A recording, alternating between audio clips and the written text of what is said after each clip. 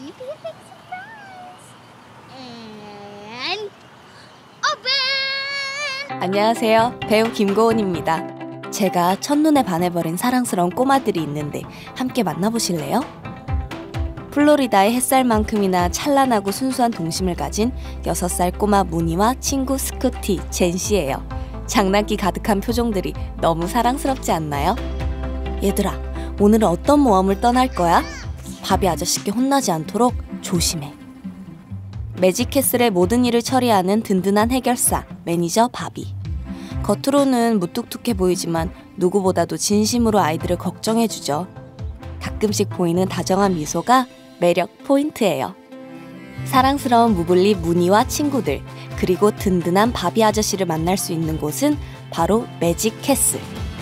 미국의 젊은 거장 션 베이커 감독이 아이들의 순수한 눈으로 바라본 세계예요.